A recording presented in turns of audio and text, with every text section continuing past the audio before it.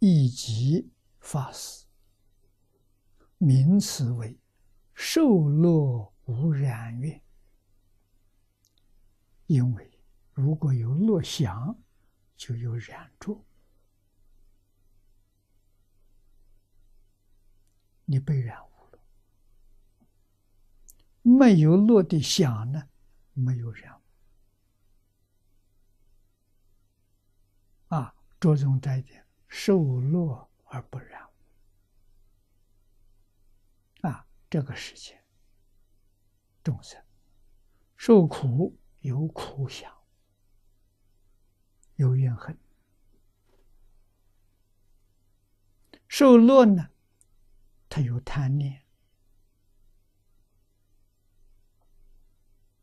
这就错了，造业了，受苦。没有苦想，他不造业。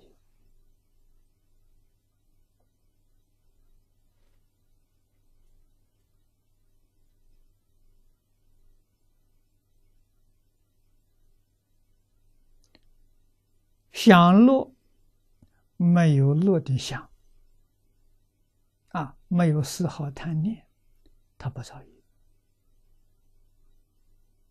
啊，那么他造的这种。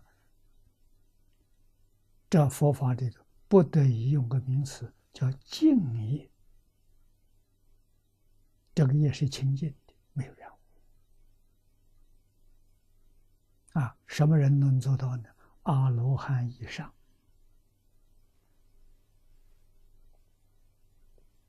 阿罗汉以下都不行。啊，所以阿罗汉以下的人。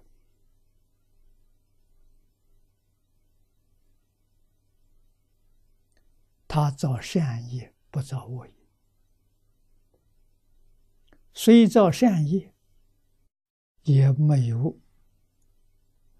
落的这个念头，他才能出得了六道轮回。啊，如果造善业有落的这个念头，他去不了，他就堕落了。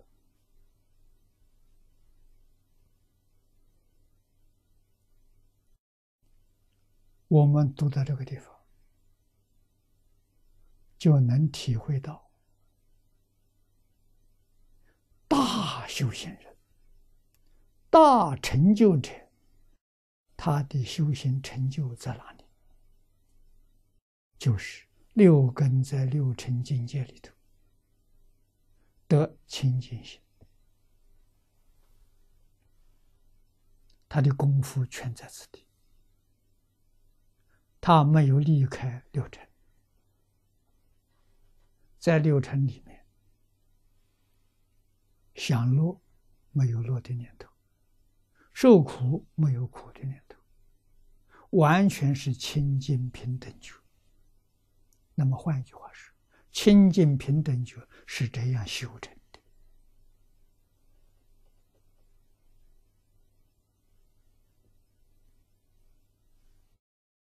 这叫真功夫啊！这个不容易啊！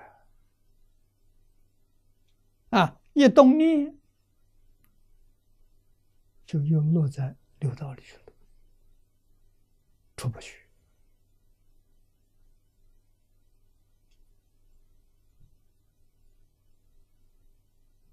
啊，受乐有乐的想。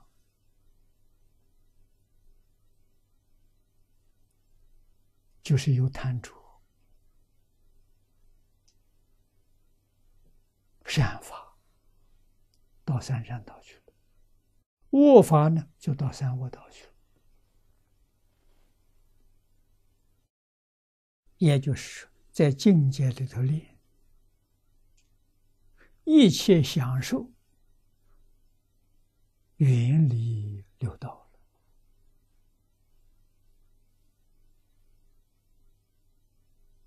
受苦没有怨恨，心是清净；受乐没有贪念，心还是清净。这就出离六道轮回了。啊，这个这种享受啊，就相当于阿罗汉。啊，阿罗汉的路径就这个样子，就这么修来的。啊，所以说受乐无染了，受苦也无染呐，静心法四说，受乐无失缘，都是这个意思。啊，受乐没有损失。什么叫损失？起心动念就损失了，分别执着损失了，就堕落了，有果报啊！啊，敬业没有果报啊，与三善道不相应，与三恶道也不相应。啊，它跟什么相应？跟极乐世界相应。啊，跟华藏世界相应。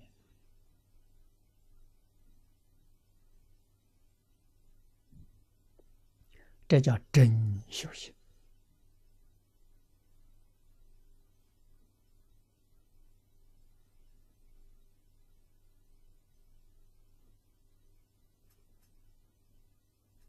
这真功夫啊。